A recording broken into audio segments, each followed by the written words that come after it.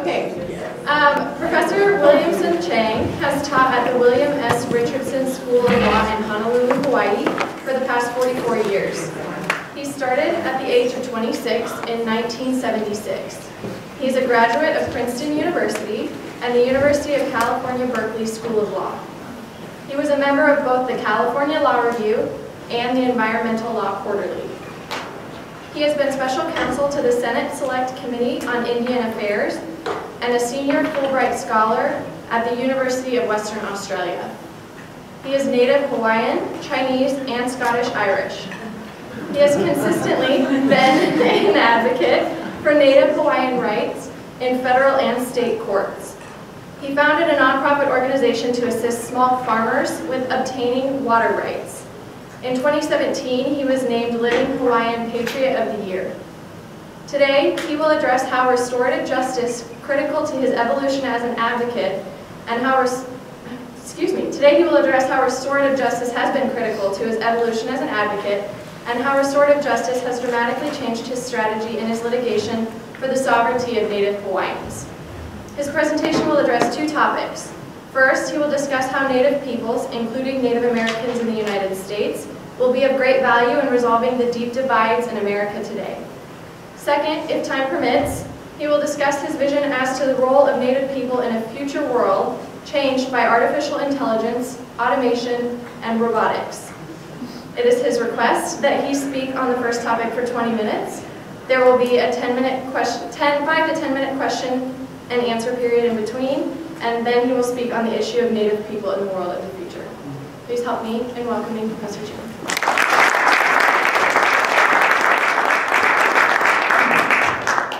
Well, I want to say first, um, thank you so much. This is a real pleasure.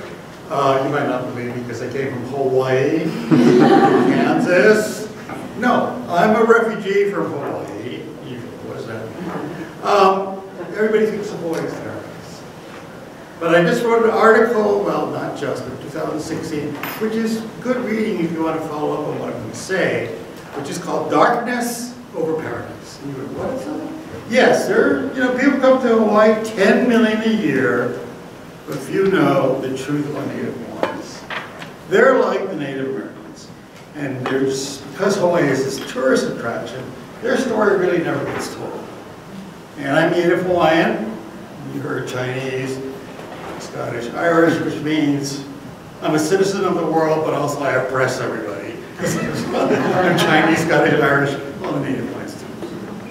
But you know, it's like, I'm one of those people who can never sleep if there's any injustice in the world. and what I mean is, uh, I'm a law professor. You know, it's, it's a wonderful calling. Uh, when I thought about the job that I had just been hired to do, I was inspired by something in Time magazine. It was an article that said the 40 uh, under 40, 10 most gifted law professors. Wow. And they had Ruth Bader Ginsburg. They had uh, Tony Amsterdam. They had Bruce Ackerman. They had Frank Zimmerman. I go, I read about it. They, they got to do three things. They got to do scholarship, teaching, and they got to do community. They got to do litigation. I go, well, that's wonderful. You know, you can do three things. You, can, you, know, you, you know, the life of a law professor sounds really great. Who wouldn't like it? You get to schedule your own, you know, time. It's you, it's terrible life. it's a terrible life. If you take, well, if you do what I do, and I don't recommend it, I became an advocate of litigation for Native Hawaiians.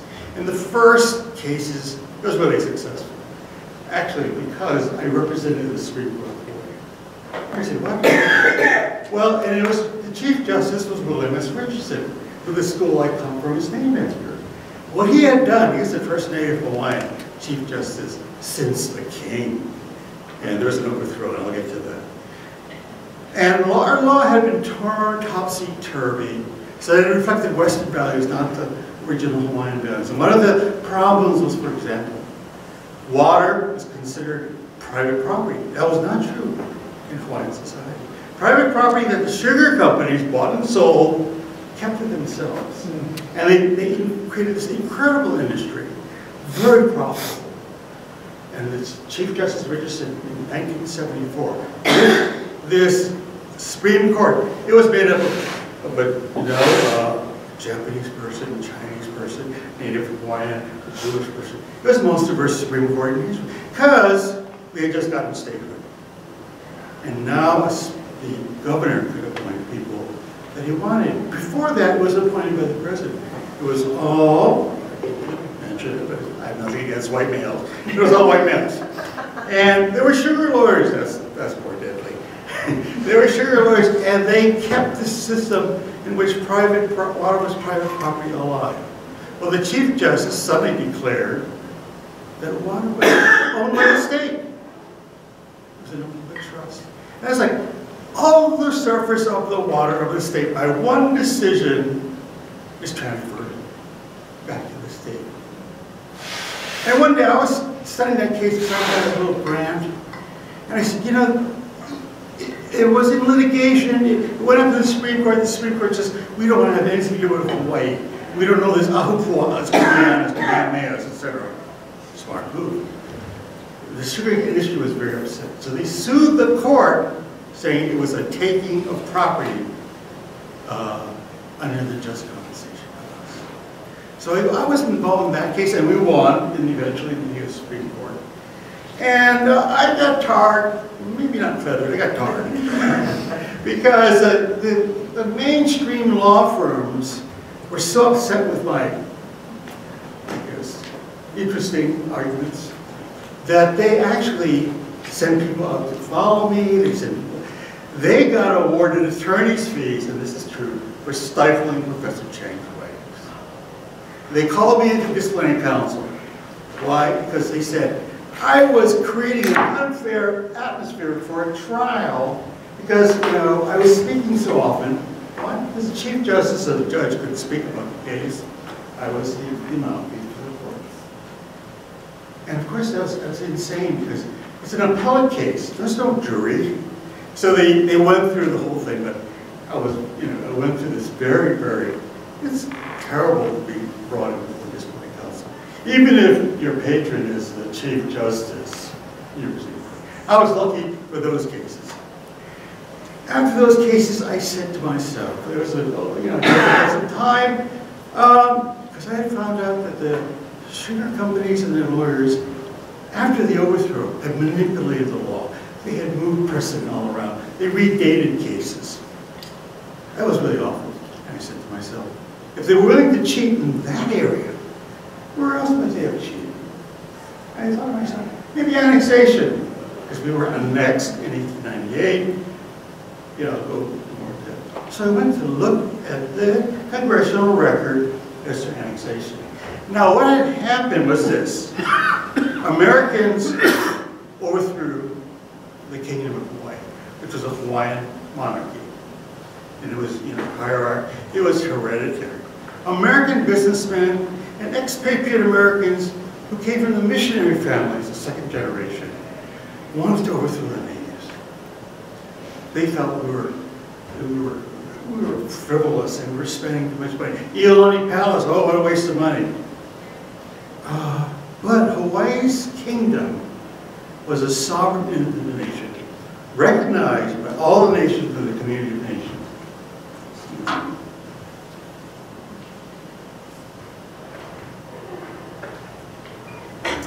And that community was a small club. This was in the 1840s. There were like 40 European nations who, after Westphalia, decided, okay, this is what sovereignty is. Got to be civilized, so you have the uh, are boundaries, and you got to be sovereign. Uh, you know, Hawaii was, I think, the first third world country to be given this status by. It was civilized. Why? Because the missionaries came and converted our chiefs to Christianity. So you know, there's a lot of basically nations around the world. That, you know, the Iroquois, the Navajo, not nations. Why? They're not Christians. Oh. So Hawaii gets its status of being a nation. It has treaties with all countries of the world. Uh, our queen goes to the parade with Queen Victoria Victoria's coronated. next monarch. So it's respect. Americans love Hawaii. You know, Hawaii, people in Hawaii are just so friendly. Everybody loves coming to Hawaii. And when they come back, they're asked, why did you come back? They don't say the beautiful mountains, the streams and beaches, the volcanic. They say, it's the friendliness of the place. So this idea of aloha rubs off on everybody. And it's true. Hawaiians are just open to everybody to their detriment. Are they violent? Yeah, there's Hawaiian men fighting every, other Hawaiian men on Friday nights. What do you call that? We call it high school football. We're good at that. Um, but, I mean, there was a little warfare, but it was more like the NFL, like, oh, today we have a away game on Maui. And then come oh, we beat them. There was no point in conquering anything because nobody could own any land. The king, you don't say he had tons of land, but nobody owned anything. He was the steward. He was top dog steward of the land, and then there was the ranking. Everybody had their responsibility. Nobody owned land, nobody owned water. It wasn't feudal because like the tenants had great rights. They could move to any other place and live there. So the situation is, in 1893, these American expatriates with some foreign people overthrow our kingdom, and the United States lands 168 Marines. How many people are behind the overthrow? 13. 13 people, that's, that's like a little more than a football team. They overthrew our kingdom. I'm embarrassed. Uh, you know I'm embarrassed? I come from a peace-loving people. I should be embarrassed. Yeah, I like to think of it this way. America is a nation made by war. Think about it, the American Revolution. Uh, you know, the taking of Mexican territory, the taking of, the taking of the West, the Native Americans. And then, of course, the wars overseas eventually. Hawaii, Hawaiians, the Hawaiian kingdom is a people made of peace. How are they going to survive in this cutthroat world? Well, they don't. In 1893, there's an overthrow, and the Americans who overthrew the kingdom went running to Washington and said, annex us, annex us by treaty. Make us part of the United States. And the treaty was brought before the Senate, and they said, this is really un-American, this is disrespectful, this is unconstitutional, this is a violation of international law. We won't pass it. You need two-thirds a treaty, right? I mean, they made it a little tougher. So the Americans had to like sit there in a little minority, there's only 6,000 in an island of 100,000, and rule without American assistance. Well, let me tell you, there was a gunboat in port every, every day. So American arms overthrew the kingdom. And what happened to the queen? The queen, would, could she have fought back? Yes. She had a militia of 3,000 men. They had very good rifles. And they could have won that little battle. If you beat Americans, kill Americans, some American blood is spilled, what happens? It's a justification for war. And he, she knew the Americans would come back. Run over the place. So she yielded, not surrendered, to the President of the United States and said, I put in you my powers, I trust in you that you'll do the right thing. At that time, the President was Cleveland. He did the right thing. Maybe the last time an American president did this. he said, oh, this is terrible. He announced to the American public, this is a violation of international law. This is terrible. This is wrong. It's immoral. We have treaties with these people, with this nation. It's sovereign. And I'm going to restore the queen onto the throne and displace these Americans. Well, time goes by and it doesn't happen. Anybody want to guess why? Anybody want to guess why the President of the United States couldn't succeed having this huge military in restoring the kingdom of Hawaii and displacing the American who had taken power? Answer is simple. Americans are Americans.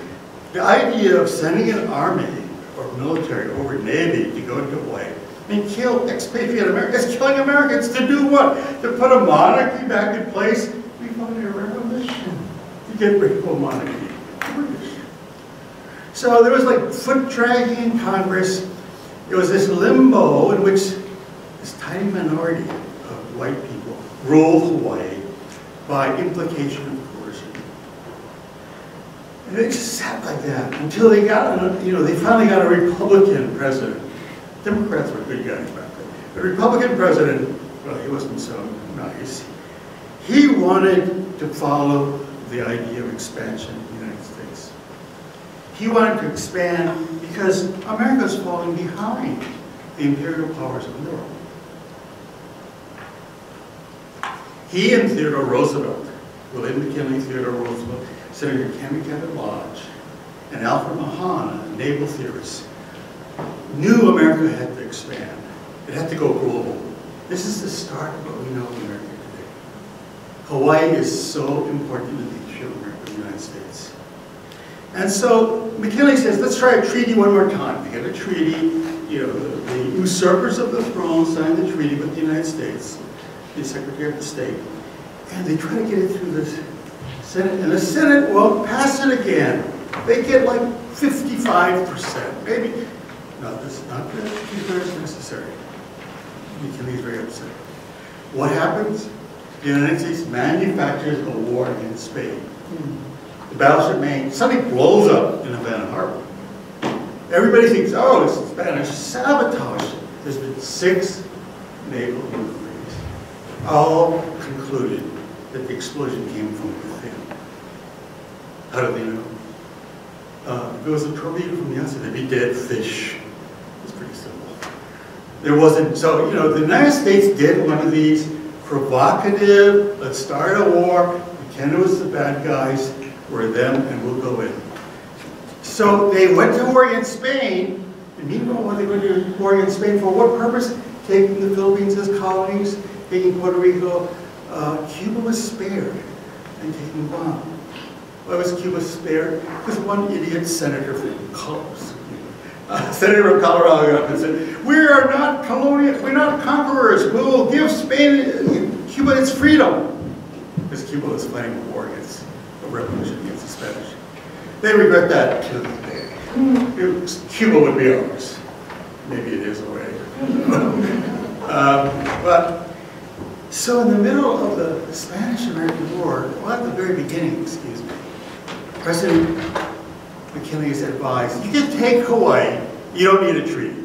All it takes is a joint resolution of Congress.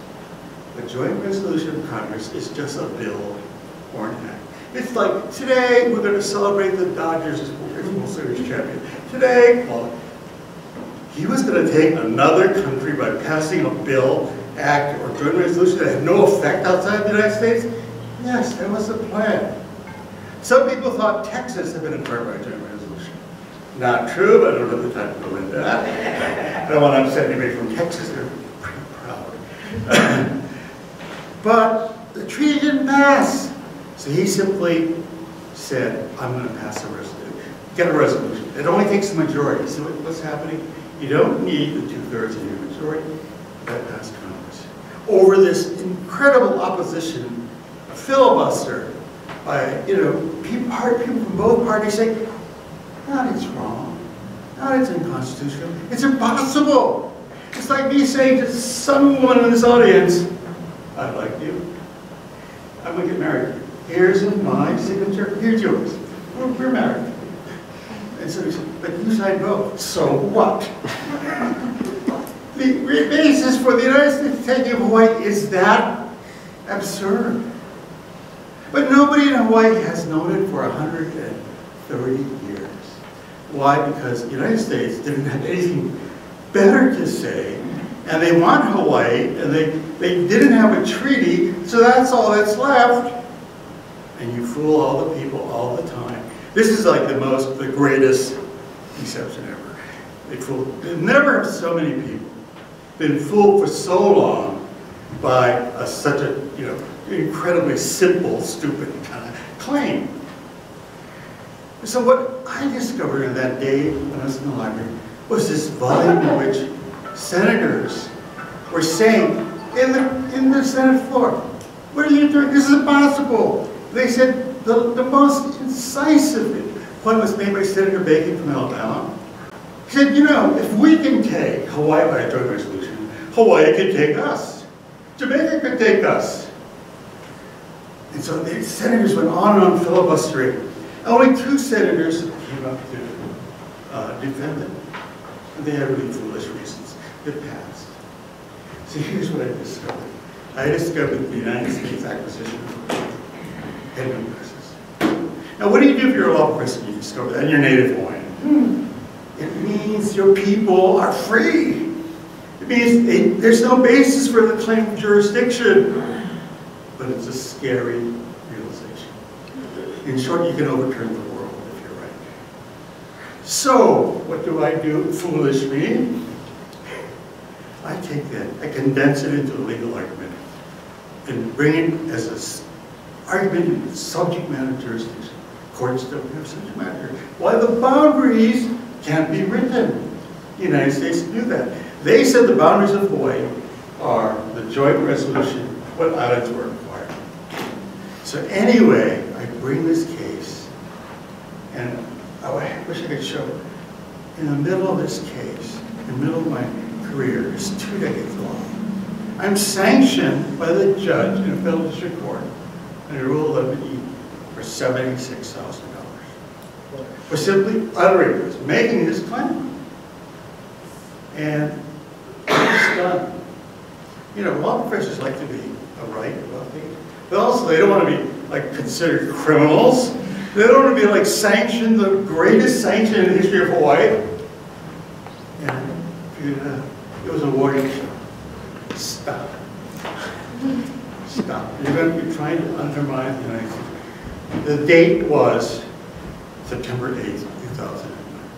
What happened three days later? 9 11. You don't want to be a terrorist. you don't Al Qaeda. I was a professor, you know, I do this research, and I'm right. It doesn't matter. But my people need to know this truth. And so I was stunned, and the question came up, what do I do? And I think that a lot, a lot of people would say you did the wrong thing, Mr. I didn't do anything. I didn't appeal it, I didn't challenge it. Why? Because the critical point was I was beginning to realize some of the points of restorative justice. It was critical that I respect the rule of law. Like, you know, when Martin Luther King led people, people got arrested, they got beaten, they, they submitted to the law. In other words, I had to show sincerity, authenticity, respect for the law. But I went into this huge depression. So what I want to say today is, we have to consider trauma to advocates in this process. I mean, we, the advocates, the story of advocates for battered women, etc. We don't we, we don't include them, but they're victims too. I was the only thing that saved me was realizing that my trauma can only be addressed by restorative justice. Hmm. So I went through this process of trying to get to it. Nobody's helping me. Nobody would talk about it. I lost all my friends. They go, this is the nutcase. He doesn't believe there's, you know, Hawaii's, you know. And so what happened just last year was the Supreme Court reminded me by saying to me, by excluding my testimony in a very critical case, we're excluding it because Professor Chang doesn't believe the state exists. I was upset again. They traumatized me again. But guess what? I had an epiphany. I was coming out of a hospital where I almost died, internal bleeding, and I realized life is short. You don't have another 20 years to fight this. Figure out something. So I turned to science and looked at psychology. And I began to analyze my clients in terms of that. And the other side, began to see that people respond with closed minds if you keep pressing them on something. For example, let me just test this. If I say every one of you is beautiful and handsome and smart and wonderful, that was talking to you, you'd say, no, I'm not. No, you really are. No, I'm not. In other words, if you're convinced of something, that's not how you You actually, science shows you get even more settled in your bias, in your views. And that's what's happening in America today. Right, left, blue, red. you know, I, I see it, people are yelling at each other, they're not, they're not even hearing it. So that's where I am today. And so, we'll take a break here. The thing is, what would you do about it? You have this most powerful weapon, that lawful device. And I, I, you know, I gotta admit, I was stuck in legal theory. You know, I'm in my head, that's professor, right? We're not, we're not right. Restorative justice is put aside theory, practice first, we derive theory from practice. So if you want to take some questions, uh, I'll probably follow up with this. And then maybe I can just touch on what I was going to do in part two. So any questions? I I have a question. Yeah, How many times do you get recognized as a TV star? none? None? I recognize you from Adam Ruins Everything. Oh, okay. And I just want to say thank you for Uh, ruining Hawaii You know, nobody in Hawaii saw it. So the second part is really this. I'm looking at my situation and looking at the United States, who can not help but watch MSNBC. The United States is terribly divided. Everybody knows that. The future is what? In 20 years, in 10 years, in 20 years, Oxford University study says 40% of, 47% of the jobs in the United States will be automated. What we're looking at is artificial intelligence, automation, robotics, completely turning our world upside down. And we're not, we're not even thinking about that. In other words, when I was near death, I realized we better do something fast. Let's think about what really, I was like, uh, don't go for the home run, go for the single with the lanes. Like lay out a plan where they can have an autonomous area. But the point I want to make really is, we have things to resolve in the United States. Let's start with indigenous people. They have been suffering, but you know what? They're the, they're the keepers of the flame. Because they've been sincere. They're connected to nature. They have suffered terribly. I call me a terrorist. Look at what the United States did to the Cherokee, etc. They were on us. They just wrote a piece of paper. Fortunately, we believed it, and we're not, a- we're not a warrior people. We should have said our football players. But the United States has to come to a reconciliation with Native peoples, because the future is this. Right now, you all work very hard, I know you do. The meaning of life is your work. And you, you know up there, your fathers, your cousins, they all work hard, but look at what's happening to agriculture in Kansas. It's taking over our nation. It's gonna get much worse. A lot of people are gonna have this state in which they won't have work. What's gonna happen? Either it's gonna completely break down, or people are gonna find meaning somewhere else than work. And the key is, where is it gonna come Well, the trauma that has been transmitted over generations for Native peoples has kept their original sense of nature, spirituality alive. Making peace with Native peoples, Native Americans, is a way in which a lot of the guilt in the United States. It's something no one talks about. It's something no one talks about. But think of it, Native peoples were here, they're, they were here, and then people came over from where, all the countries of the world. The difference is they have choice, they came to by choice. And that this is home, somebody else's home. I'm Chinese, do I worry about whether there's gonna be Chinese food in the future? No, there's 1.3 billion people taking care of it. Do I worry about whether there's gonna be Chinese language? No. Because I can go there. Hawaiians is Hawaii. If their language is extinguished, it's all gone. You know, their ways are it's all. Hawaii is facing a crisis, and I, I put this challenge out there to establish common ground with other stakeholders, like Plains. I'm saying, can your children live in Hawaii? You know, the price of housing in Hawaii, the median price of housing is eight hundred seventy thousand. Yeah, you're not moving to Hawaii, it's nice to visit. Nobody can afford to live there. Everybody's got, all- everybody's children is moving out. And if Hawaiian children leave, there's nothing left for the Hawaiian people. There's nothing left for the Hawaiian race. But it's also true of everybody else. So I'm saying native Hawaiian sovereignty is the engine which can address the crises. Because we have this claim, and the United States, once it recognizes the seriousness of this, has to come to terms. And so restorative justice is so hard when the United States is diplomat. You can't sit down and say, how do you feel about this? Who are you talking to? Institutional defendants make restorative justice very hard. So a lot of the initiative has to come from. So I'm saying, uh, my view of the world is completely changed. Law is not it. Law and the legal, as we know it, it's restorative justice, it's common ground, it's negotiation. The future is too short. Things are going to change. If artificial intelligence, robotics are replacing people, our armies are going to be robotic. Who needs, you know? And so, like, where are people going to go? Where, how are they going to work? People are leaving. You know, maybe it's Kansas. But agriculture is, is one of your prime industries. Think about the automation the agriculture.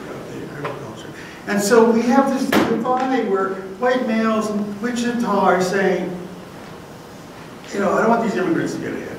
I want my stake in the future. How are we going to answer that? Universal income? We have to think about that. And that changes completely the dynamics in which law operates. On the day-to-day level, restorative justice is really powerful. But the bigger questions are kicking the can down the road. Join me in thanking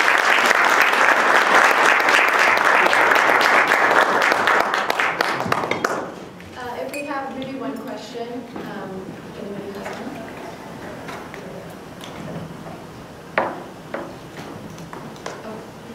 I missed the, you were talking about the hoarding and how that. Oh, me? Can you say, That's so embarrassing.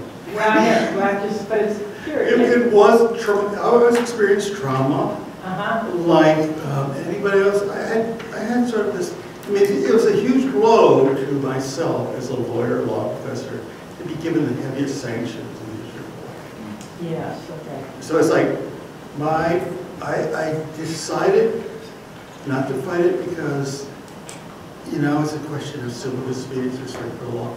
But it took a huge toll on me. What, in other words, what could I do if I gave in and said, okay, lower the fine, I'll pay it? I'm saying, I'm not right. I had to stand my ground. And they just. So yes, there, you want to know how I hoarded? Electronics, all over the place. Um, I'm not doing that. The pledge thing is over. I used to be a Velcro freak too, you know, so everything was Velcro. Uh, people did tell me, okay, you weren't the same.